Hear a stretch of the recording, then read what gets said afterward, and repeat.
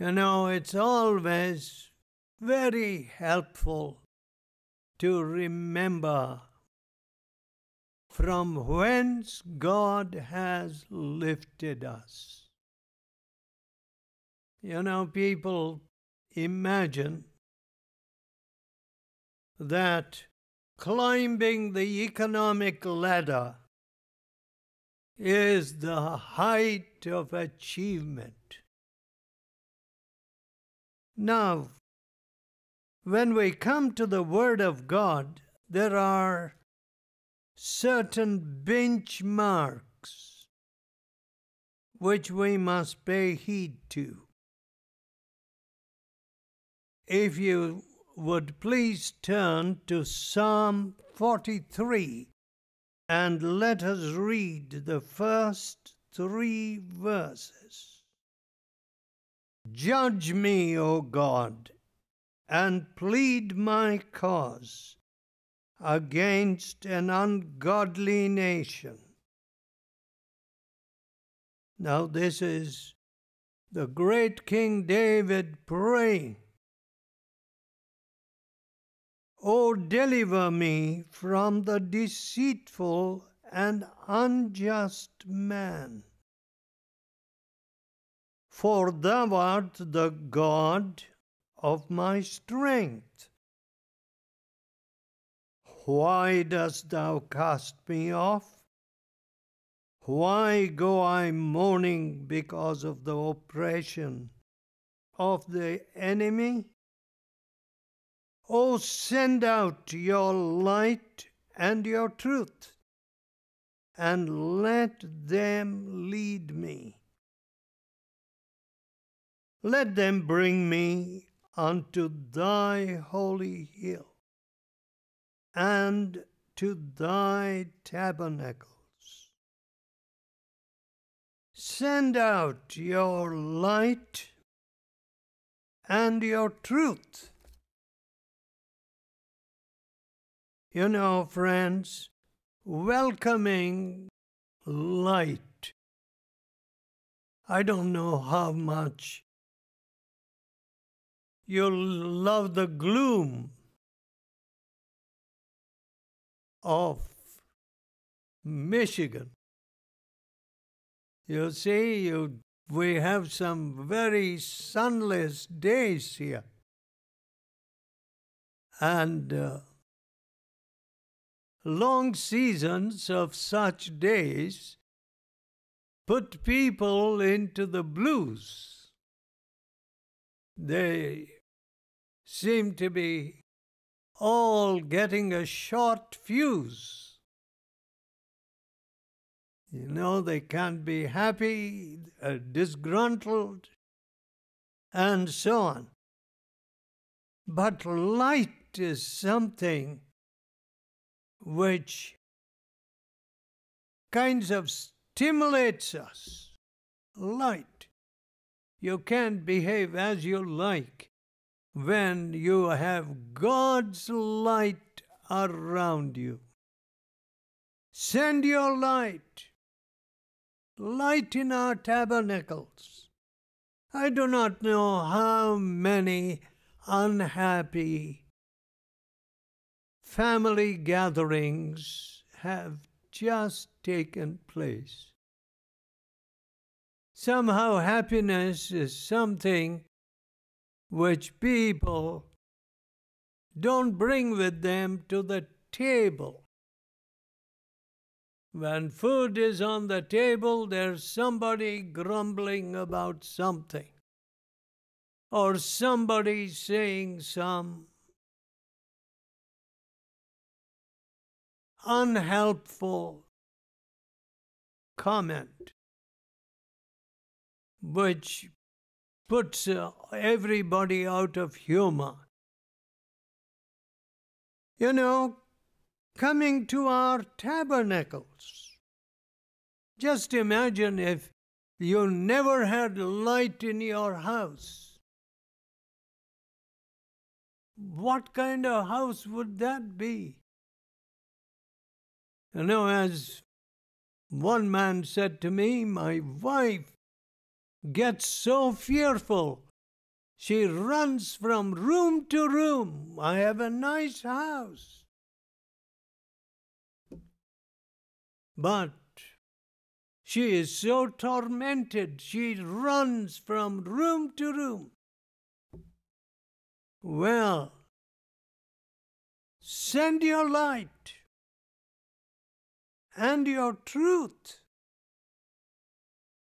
You know, when we don't know the truth about ourselves,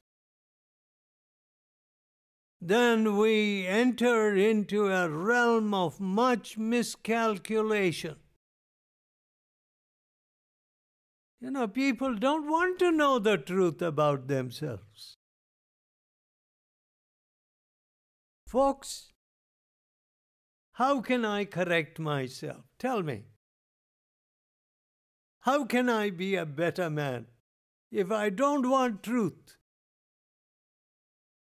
If I say, oh, I want to be comfortable, I want to be happy, but I don't want truth, tell me, what kind of uh, paradise is that? But a fool's paradise. That's all living in a fool's paradise.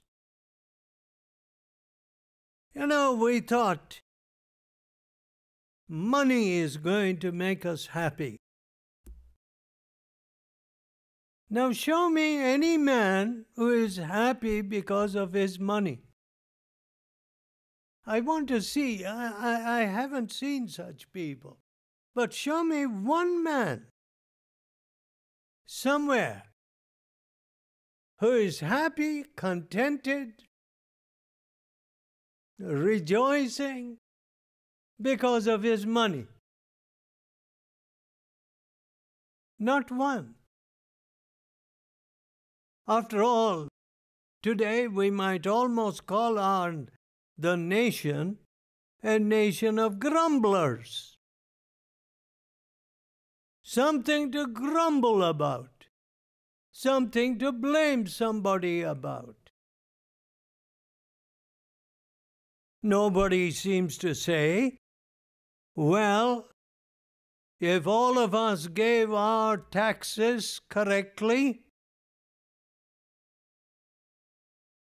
then we won't be in such an economic soup if all of us had the work ethic and produced quality goods. And we did not have the greed we have. Then this nation would be in a better financial position. Or at least it would be out of the woods. Nobody wants to acknowledge that the truth. The truth is resented. You know, when the, sucks, the succeeding generations are in the red already when the unborn children are in the red already. What, what do they inherit?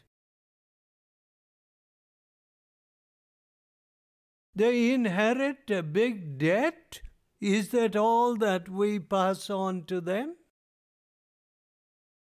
Oh, yes, indeed, that is more than an economic debt.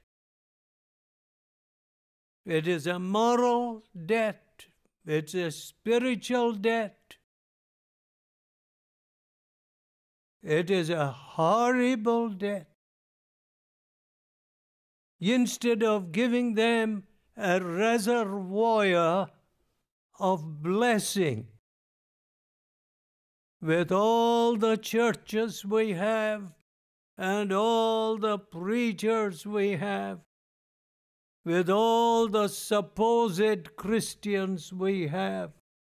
if we can't produce a reservoir of spiritual understanding and truth and blessing. We are defaulting, aren't we? Very badly. Let's not talk about others. Let's talk about ourselves. You know, in the Word of God, 118th Psalm, and the 15th verse says, The voice of rejoicing and salvation is in the tabernacles of the righteous. The voice of rejoicing and salvation is in the tabernacles of the righteous. Now, joy seems to be missing. There are a lot of things cluttering the place. You know, somebody said to me today, I have missed the sales. well, well, I do trust some of you also have been fortunate enough to miss the sales. But, you know, to miss the sales seems like a tragic thing. Okay? But all this abundance of material wealth or things. Does it fill our homes with rejoicing? No. But let me tell you this. I told that same family that mentioned the missing of the sales of today. I told that same family, you know, my wife and I have been married for 50 years. That is, provided the Lord extends our life by a month or so. 50 years we have had no fight, no argument about money, nothing of the sort. Now, to me, that is wealth. The peace, the love. There is rejoicing and salvation in the tabernacles of the righteous. That is wealth. You know, it made me very sad to hear somebody say at the table, since my childhood, I have never sat at a table like this. It made me very sad. But that is the story of many people in this country. They don't have joy. Daddy is not there, or mother is not there. And the mo- and mother is asking you to call a stranger daddy and you know he is not your daddy.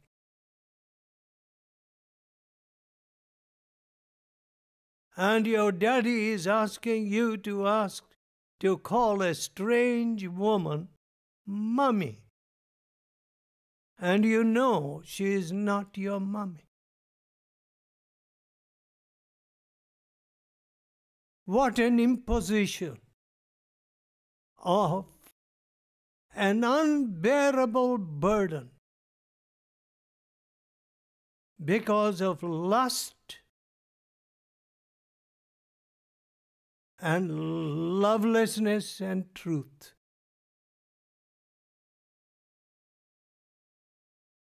What an imposition!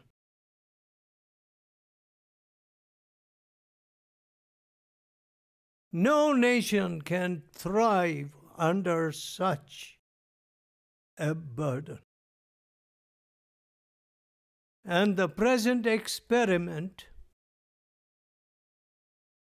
in Western civilization to produce a tabernacle full of things, glittering, glamorous things, devoid of salvation and peace and love. Is nothing but a very tragic experiment. In futility. It's a futile experiment. Now, when we talk about the tabernacles of God, let us turn to Exodus chapter 40. You know, when God wanted a tabernacle to be reared up and gave Moses some of the specifications. Exodus 40, please. And if you look at 34 and 35, you know, it was a very simple structure, really. And the people who were, you know, leaving the slavery of 430 years. 430 years. I feel there is no slavery like the slavery of harboring or espousing untruth. There's no slavery worse than that. But physical slavery and these people were given Ten Commandments. And those Ten Commandments embody so much truth, which is really the undergirding of our justice, of all the systems of true justice. As someone said, there cannot be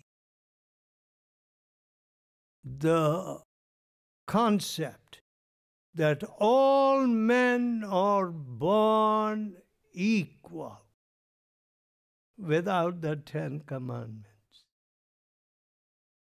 You can't have that. And today, there are those who don't have the Ten Commandments who can't see people as their equals. They can't with all their education, they can't see others as their equals. All men are born equal.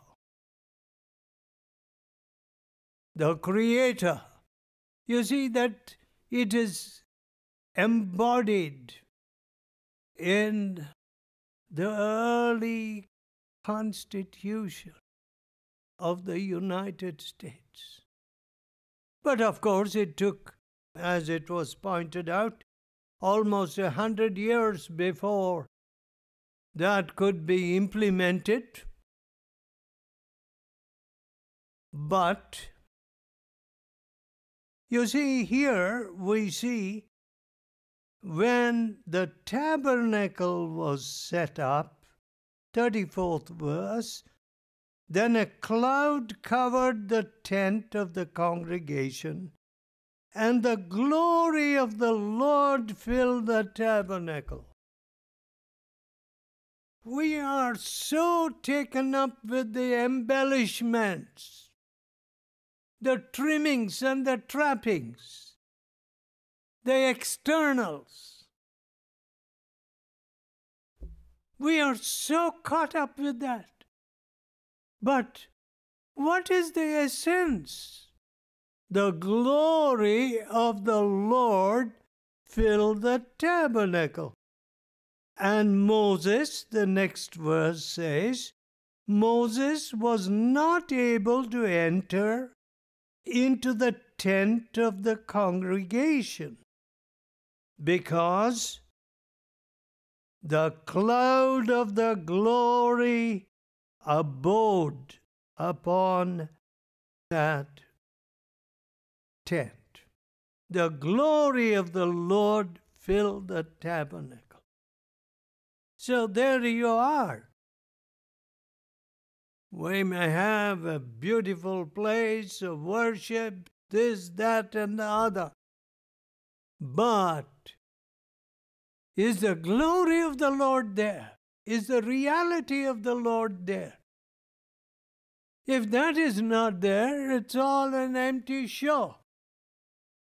You know, as far as I am concerned, I don't want to engage in a theatrical.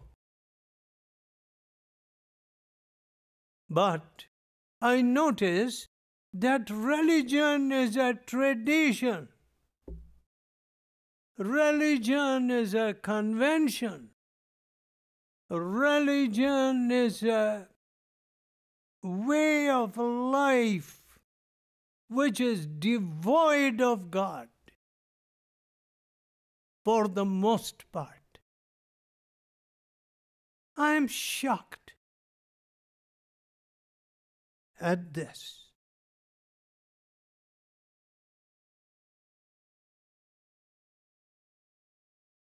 You know, in Afghanistan, which has been a lawless nation for the, I mean, a tribal, a set of tribes, consisting of a set of tribes and warlords. Down their history, they have just been a people who oppressed one another or killed one another, or any stranger that dared to enter their land. And now, in a space of 10 years, it may take a decade, it seems, to get the corruption away. My, what an undertaking! To remove corruption in spite of all the religious fanaticism. Can you imagine that? On the one hand, religious fanaticism. On the other hand, the whole land full of corruption and even people at the ministerial level just wanting to be unaccountable. What do you expect? And that is a religious country. Okay? But when we come to the tabernacles of God, it is the Lord, the righteousness of Jesus at the center. Now, when you take away that righteousness and mix it up with the kind of politics that we have mixed it up with, I think it is a very unfortunate thing that the present president had so much of his schooling in the politics of Chicago and all the freewheeling and dealing.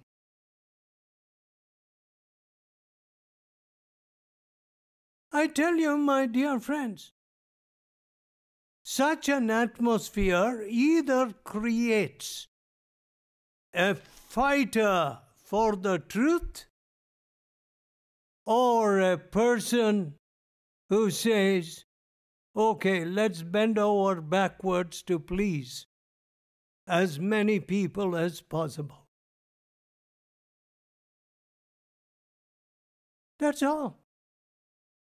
But when the Lord and the righteousness of Jesus is there, there will be also a conflict a heavy conflict. And you will first experience that conflict in your own heart because of the idolatry of the heart. You will say, Oh, I didn't know myself. I didn't know where I was really coming from. You know, folks, recognizing the perversion, the deep perversion of the human heart. That's only possible at the cross of Jesus. Otherwise, this is all a nice moral talk, nice kind of stuff. There's no truth at all in it. But when we come to the Word of God, it makes a spiritual warrior out of you. You stand for the truth. Well, if you have to give a million dollars as tax, you say, okay, I owe this to the government. I'm going to pay this to the government.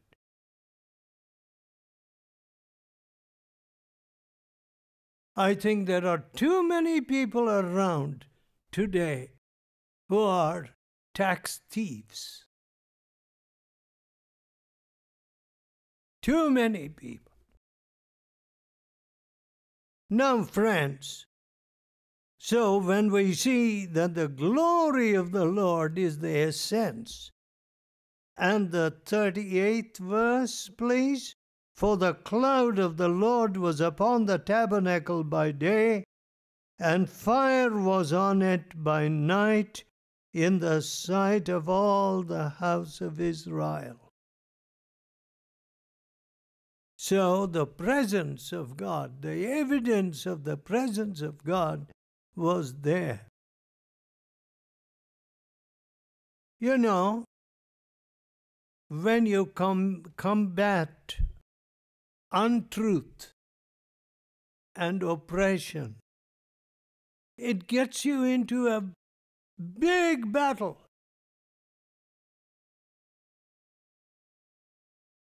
Now, when, when William Bentinck, the Viceroy of India, outlawed the ancient custom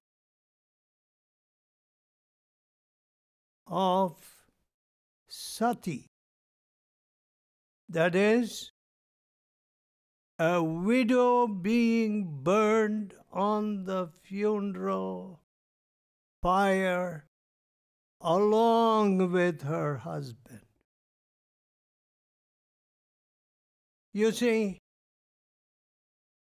when he outlawed it, when it came into force, one prince wrote to one of the rulers, one of the governors, Sir,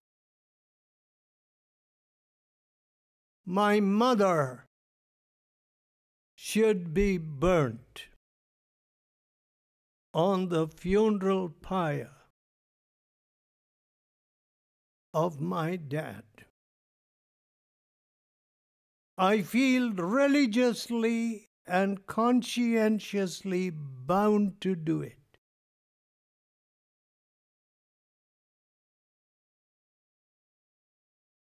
Now, William Carey had noted 6,000 such deaths of the burning of the widows in a very short period. In Bengal alone, and the governor or the resident said to this prince or this nobleman, if your, consci- if your conscience obliges you to burn your mother along with the body of your dead dad, immediately after you have lighted the fire, my conscience obliges me to arrest you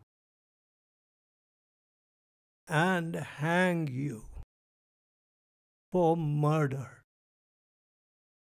It was pure murder. And what a hue and cry there was from some of the pundits against that basic law. What a hue and cry. So, when you obey the truth, when you fight for righteousness, it is going to get you into conflict with many. Does that mean that truth will fail? No, truth can never fail. So, friends, righteousness in our dwellings.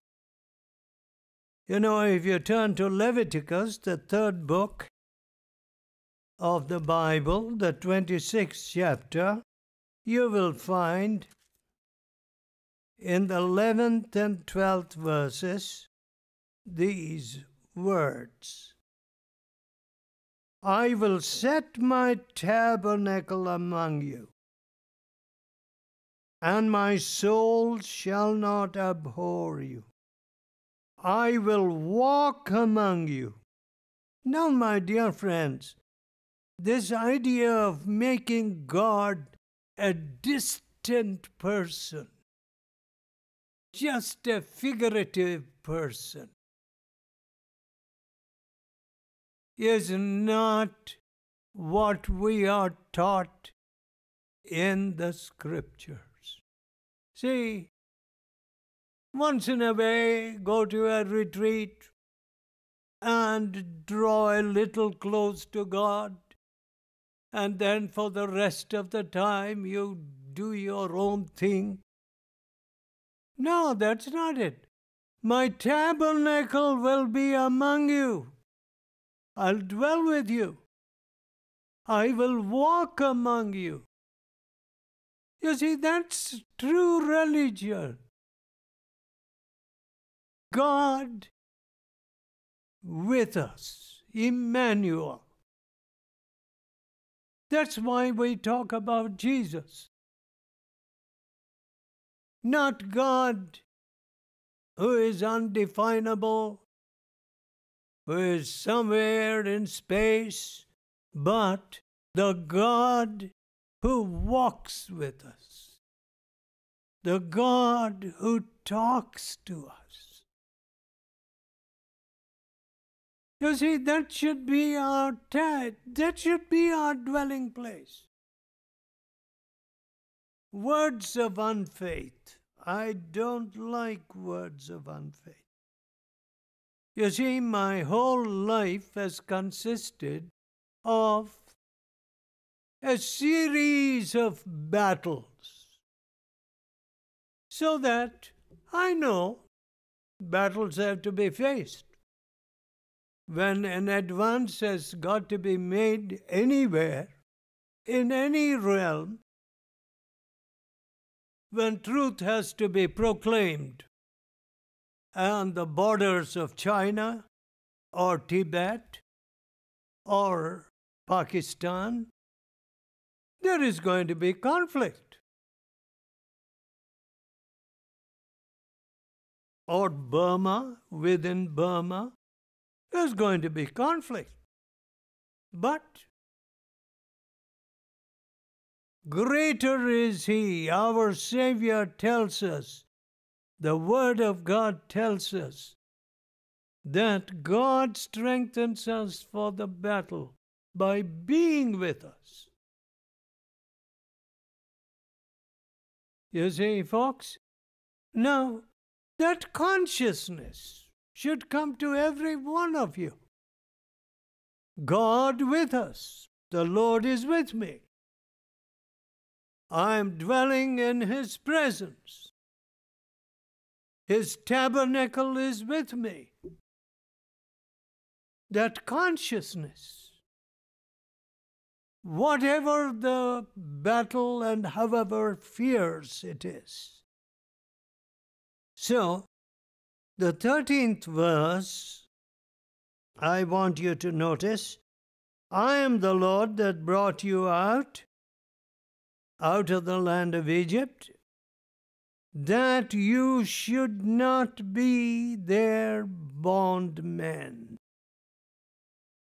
I have broken the bands of your yoke and made you go upright. Look at that. I have made you go upright. We can't stoop. We can't bend. God makes us to be upright. All right, if it may cost prison, so be it. If it costs more, so be it. But God has brought us out of bondage so that we might bring others out of bondage. You know, when people don't have that kind of outlook, after listening to me for years, I blame myself. I say, What am I doing? I'm not producing Christians. I am producing a bunch of prosperous people who know how to make a little money. But not those that count in the battle for the truth. That you should be upright, that you should not be bondmen any more. My dear friends, so in the 15th and 16th verses, if you shall despise my statutes or if your soul abhor my judgments, so that you will not do all my commandments, but that you break my covenant, it's a covenant, it's a promise, I also will do this unto you. I will even appoint over you terror, consumption. You see, we are told all the time, isn't it? That we are engaged in a war upon terror. War upon terror. Here the Bible says, I appoint over you terror, consumption. You know, just withering away. You know, the number of banks that have been collapsing lately. How terrible. Can, can you imagine people losing all their savings, their pensions, the tragedy of it?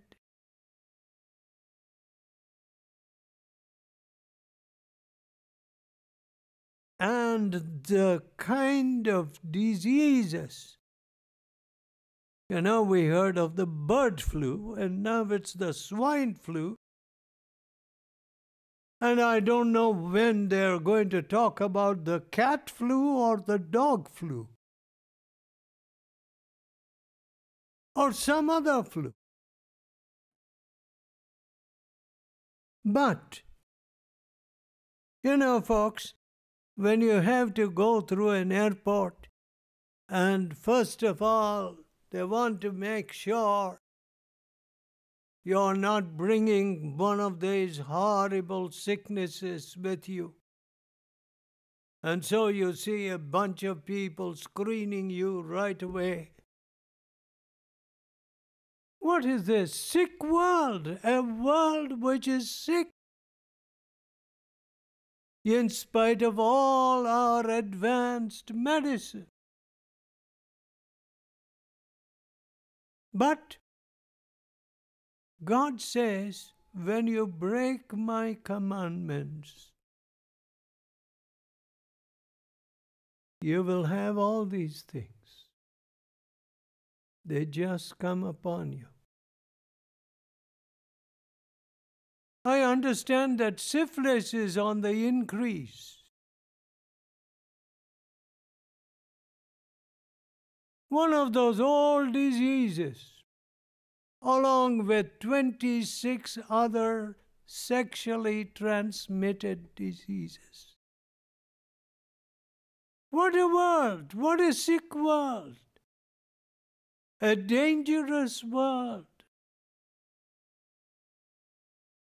Why? Breaking the when you break my commandments these things will come upon you.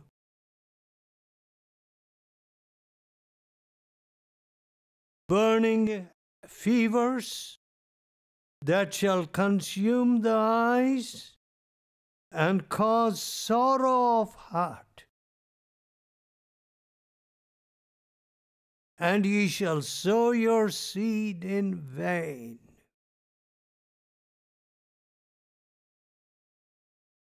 They that hate you shall reign over you, and you shall flee when none pursueth. My dear friends, at such a time as this, God wants us not only to overcome in our personal lives, or families. But we have got to take this victory, this peace, this overcoming spirit to others. You know, people who are just weeping over themselves, or weeping for this and weeping for that, they just don't make the grade today. They are just dead wood. They count for nothing. They may be religious fanatics or whatever. But they don't count for anything. But, dear friends, here is the secret. When you go to the cross of Jesus, that's where something happens. A deep brokenness comes into you. You see where the seat of the trouble is. Pride. You know, if you have been able to deal with pride and overcome that ego and that pride in you. When people make some remark, okay, they spat in the face of Jesus, why should they not spit in my face? What does it matter? Why can't I be humble? My dear friends, that light comes to you at the cross. Sinless, but condemned with the worst kind of public execution. And not complaining about it. Father, forgive them that spirit. It's a different spirit, you see. It's not there in us. Don't let us pretend that a little education in a college or university gives us that kind of spirit. No, it doesn't. Somebody riles you a little, insults you a little, how cross you get. That pride which is so native to your nature is stirred up. But at the cross, that is broken. And then you begin to walk humbly with your God. When you humble yourself, let us pray.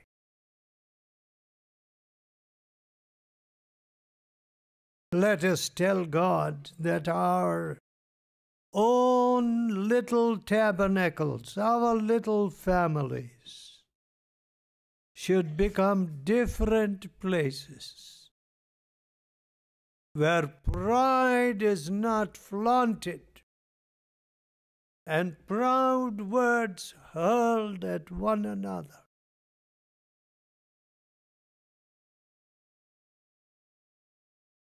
O oh, gracious Savior,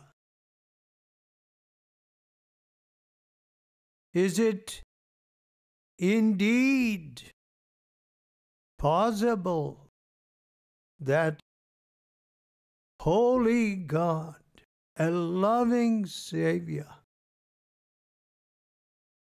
can have his abode with us?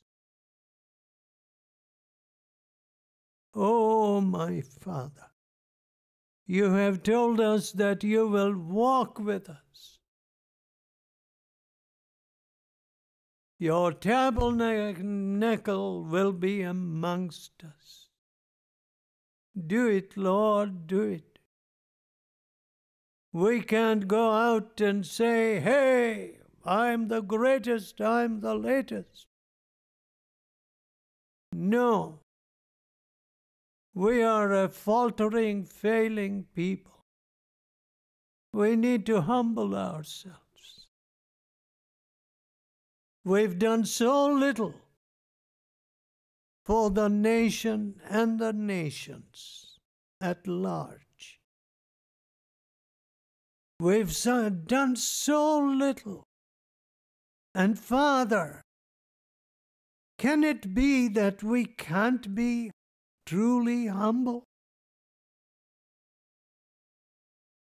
Won't some of that humbleness that took you to the cross be given to us also?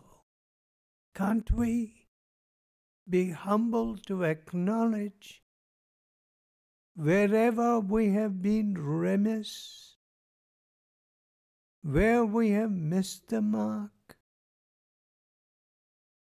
Oh, please come to us and give us that deep brokenness of spirit. And we want the tabernacle of God amongst us. We don't want to merely sing of it or talk of it.